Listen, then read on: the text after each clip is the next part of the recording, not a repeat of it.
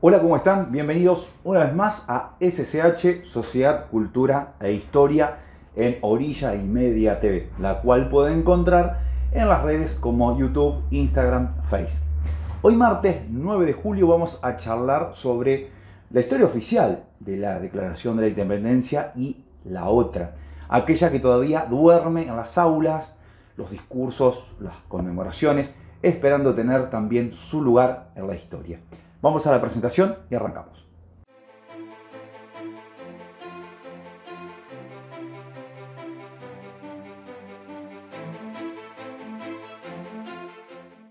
En la escuela primaria estaría yo en cuarto, quinto grado, me acuerdo perfecto, la maestra dando el tema del 9 de julio y pensando, yo pensando, ¿por qué Entre Ríos no había participado llevando congresales? Eh, me parecía una falta de respeto de nuestra provincia. Me, pareció algo raro. Bueno, el pensamiento quedó ahí instalado, pero nunca pregunté. No porque la maestra no hubiese habilitado esa pregunta, eh, solo atiné a quedarme callado y el tiempo hizo lo suyo, digamos, quedó en el olvido, ¿no? Eh, ¿Qué me hubiese respondido la maestra si yo hubiese preguntado? No tengo idea, pero seguramente una respuesta tipo, después la averiguo, me parece.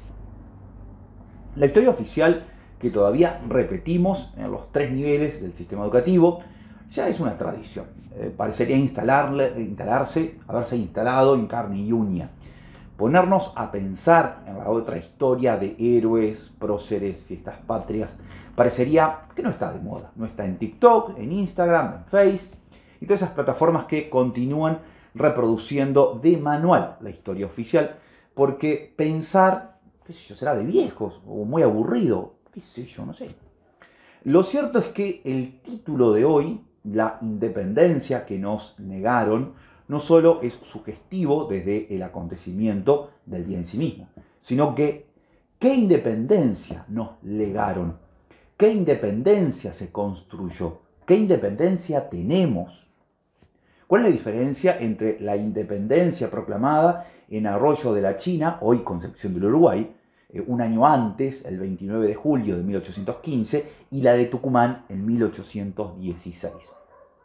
El 29 de junio del año pasado hice un video, eh, lo van a ver por acá, eh, con respecto a este tema, algo bastante corto. Pero hoy vamos a buscar la palabra de Marcos Enchos, licenciado en Historia de la Universidad Nacional de Luján y maestrando de la Universidad Nacional de Quilmes. Esta charla está dividida en dos partes. Una primera donde Marcos expone los hechos históricos de las dos fechas y una segunda parte referida a la construcción de la historia oficial que seguimos repitiendo, vuelvo a decir, en aulas, discursos y conmemoraciones.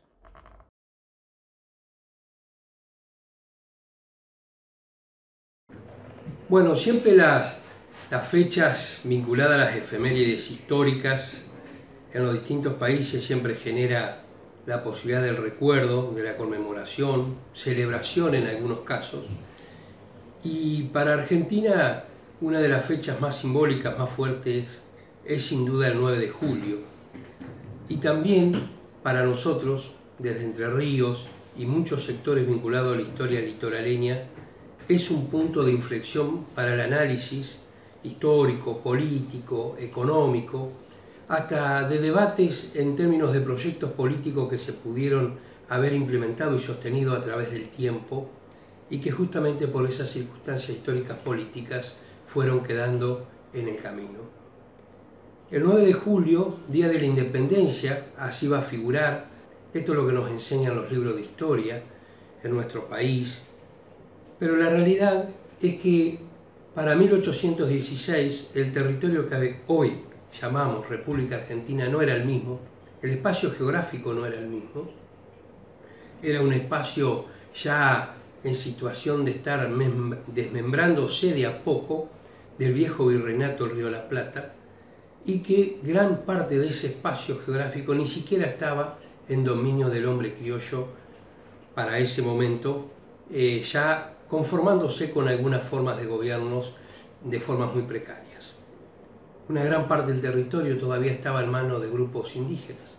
Así que la representación histórica que se da allí en la ciudad de Tucumán que se reunieron a partir de marzo de 1816, es necesaria conversarla, es necesaria debatirla en términos historiográficos, porque en realidad es una independencia a medias si tenemos en cuenta el espacio geográfico, pero también si tenemos en cuenta el espacio político, porque lo que nosotros hoy habitualmente llamamos el litoral, y cuando digo litoral, abrazo al río Uruguay, a ambas márgenes, banda oriental, las viejas misiones, no la provincia de Misiones de Argentina, las viejas misiones, Corrientes, Entre Ríos, parte de Santa Fe y una parte de Córdoba conformaban la Liga de los Pueblos Libres.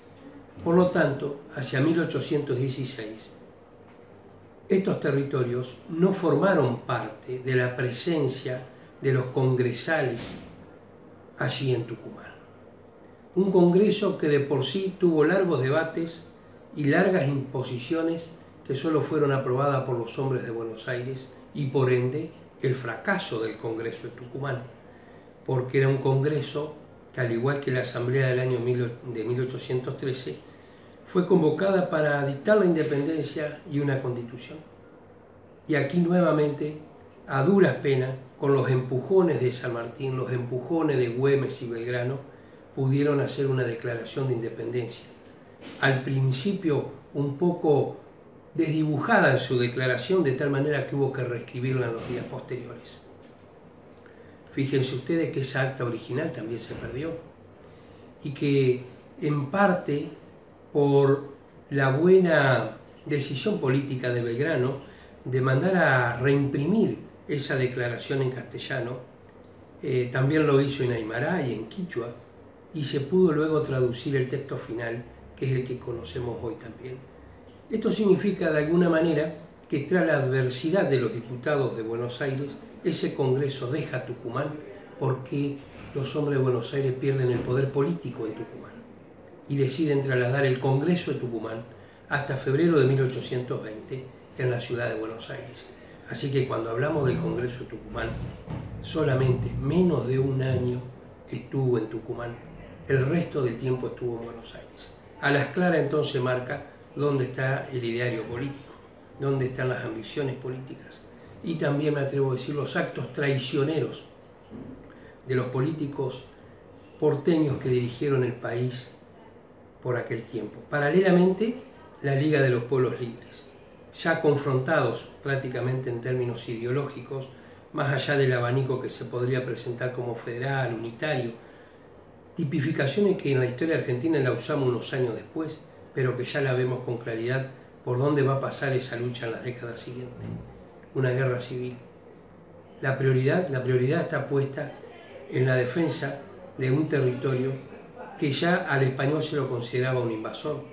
Por eso las campañas libertarias a través de toda la América Latina durante todo el siglo XIX. Pero también desde el lado nuestro, desde nuestro litoral, la presencia de los portugueses, que nuestros hermanos de la banda oriental por tantos años lo tuvieron ocupando su territorio y marcando presencia en lo que ellos llamaban la provincia cisplatina. Y en esa mesa negociación, los hombres de Buenos Aires a los entrerrianos nos entregaban como un bin metal, como una moneda de cambio.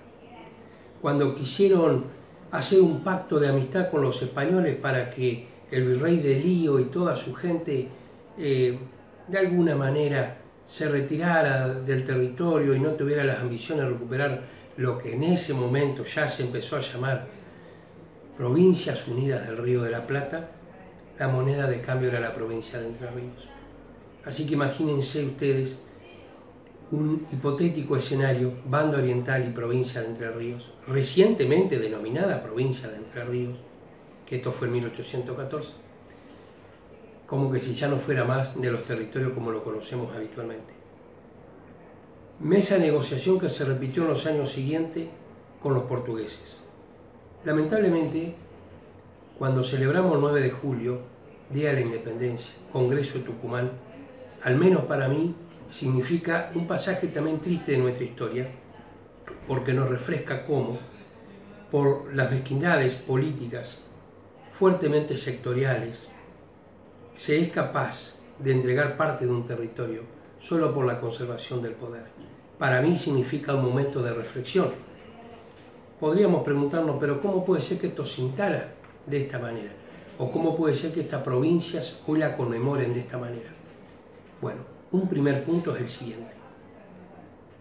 Producida la derrota de Ramírez, que a su vez había derrotado a Artigas y que por ende había sido el final de la experiencia política verdaderamente marcada en el alineamiento de la fraternidad, de la igualdad, de la igualdad de los derechos. Es el fin de la Liga de los Pueblos Libres.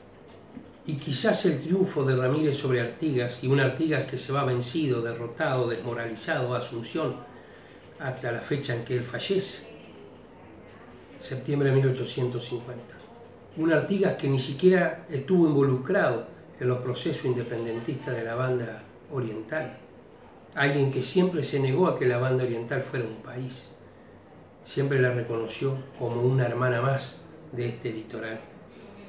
De tal manera que estas experiencias, con un alto nivel de, de argucia y de astucia política por parte de los hombres de Buenos Aires, quizás aprovechando las ambiciones de medida de Ramírez, hizo que toda esta experiencia se cayera. Y para el caso de Entre Ríos, significó el ingreso de los hombres de Buenos Aires gobernando Entre Ríos por casi dos décadas. Y esto fue lo que permitió que ese gobernador que es enviado desde Buenos Aires, tras Ramírez, reconozca la independencia, el acto de la independencia generado en el Congreso Tucumán. Sentimiento muy caro para los hombres, para los líderes de este litoral, porque este es un proceso que se reconoció el 29 de junio de 1815, más de un año antes de lo de Tucumán, un acto de independencia, con una definición muy exacta hacia quién era la independencia, hacia los poderes extranjeros, en ningún momento hacia el resto de las hermanas provincias ni mucho menos a Buenos Aires, ni mucho menos significó una intención de guerra, porque automáticamente tras ese Congreso se enviaron a los representantes para las negociaciones pertinentes. Lo lamentable de todo esto es que quizás si uno tuviera que hacer una extensión, nuestros países latinoamericanos, todavía nos debemos estos tiempos de reflexión, sobre todo para animarnos a pensarnos en términos de diálogo, de confraternidad y de búsqueda de alternativas de soluciones a los problemas que en realidad nos abrazan a todos.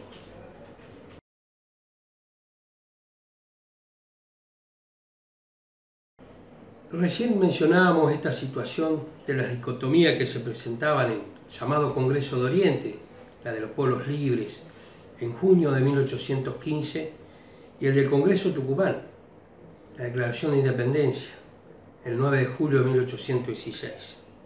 Ahora bien, ¿Cómo puede ser que algunos de estos hitos históricos se resalten más de una manera o de otra? O de alguna manera, ¿quién decide quiénes son los personajes que se van a convertir en prócer y quiénes van a quedar en el olvido? ¿De qué manera se construye toda esa memoria colectiva? Para el caso de, nuestro país, sin duda, el que da el puntapié inicial en el marco de la conformación del nuevo Estado, del Estado moderno, como se estudia en las ciencias políticas, en el caso nuestro, a partir de la Constitución de 1853, allí en la hermana República del Uruguay, varios años antes. Sin duda, Bartolomé Mitre, que se va a convertir en el tercer presidente constitucional de Argentina, es el creador de los conceptos histórico-políticos sobre los cuales todo, inclusive el sistema educativo, y de enseñanzas a través de los distintos organismos estatales va a ser la versión oficial de cómo contar nuestro pasado. Él y sus seguidores, más allá de que con alguno de ellos tenía algunas pequeñas diferencias, son los que van a dar el hilo central de esta realidad histórica y cómo van a fundamentar las acciones políticas en función de los hombres y los mensajes que le hicieron decir a esos hombres. Entonces la línea de la Revolución de Mayo va a ser una pieza clave. La van a encontrar como la centralidad. Y luego el pacto que va a permitir la constitución del año 53.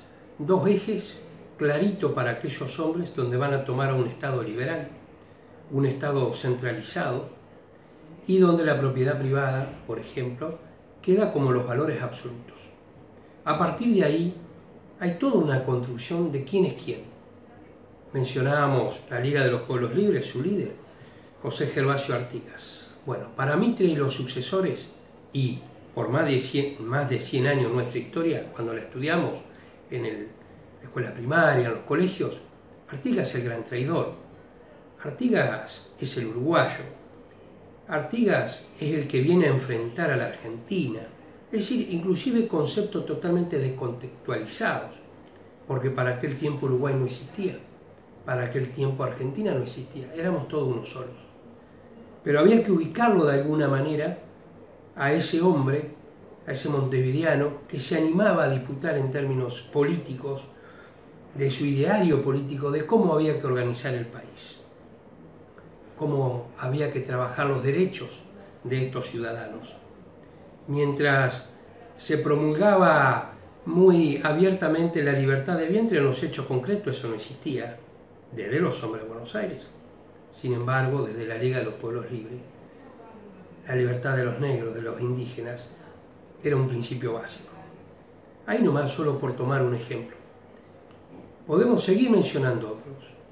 ¿Quiénes quedaron desdibujadas en esta historia? Nosotros los entrerrianos, en el contexto de la historia nacional, Urquiza queda desdibujado.